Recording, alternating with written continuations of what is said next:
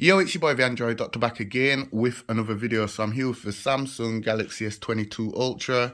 And in this video, I am going to share with you all a very useful tip.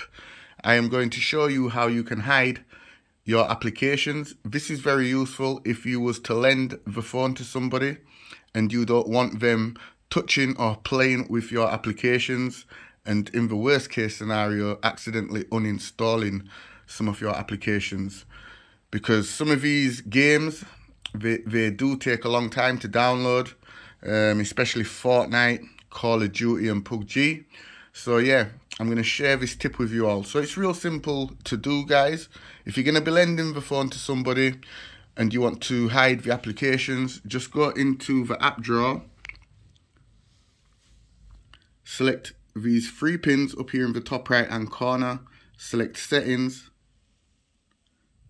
and then scroll down and you will see hide apps. And then you will see a long list of all the applications that you have installed. So at the moment I don't have any downloaded applications. These are all the pre-installed applications. But simply just choose the ones that you want to hide. So just check the little round boxes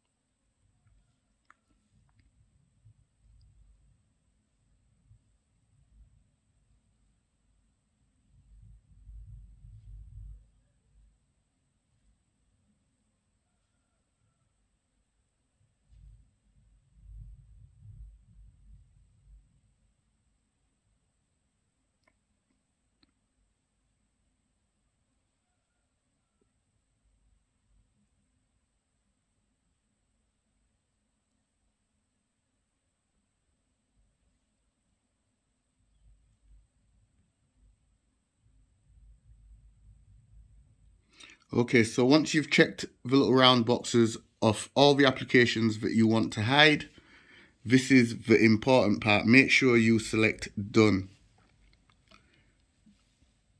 Okay, so as you can see, all the applications that were here on the home screen, they have now been hidden and most of the applications in the app drawer are now hidden. And if you want to unhide them, just go back into the settings. And select hide apps. And just uncheck the boxes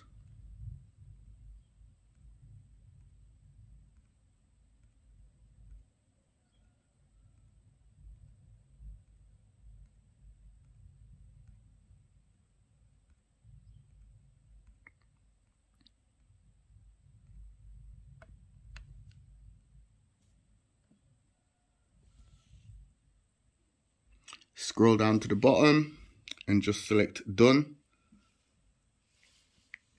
And all the applications are back in the app drawer. Okay guys so I just thought this was a nice useful tip that I would share with you all. Be sure to give the video a thumbs up share the video. It's your boy the Android Doctor. See you in the next one guys. I'm out. Doses